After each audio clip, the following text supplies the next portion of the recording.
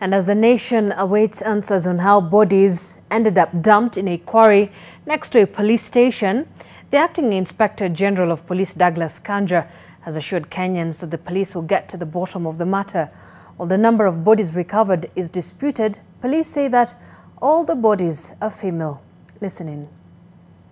Five more bags were retrieved from the same quarry yesterday.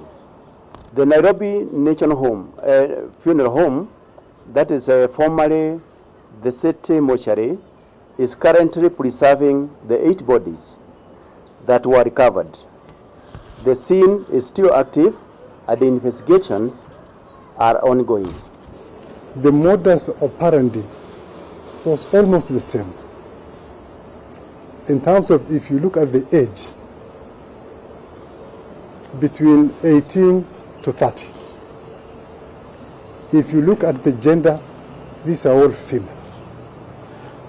If you look at the way the bodies have been disguised and packaged, all the same. If you look at the place the bodies were thrown into the dump site, just one spot, are we dealing with a cult that is associated with criminal activities? Are we dealing with uh, serial killers that are also associated with criminal activities? Or even could we be dealing with rogue medical practitioners that are dealing with criminal activities? All, the, all these are hypotheses that as investigators we have uh, tried to, to, to bring on board.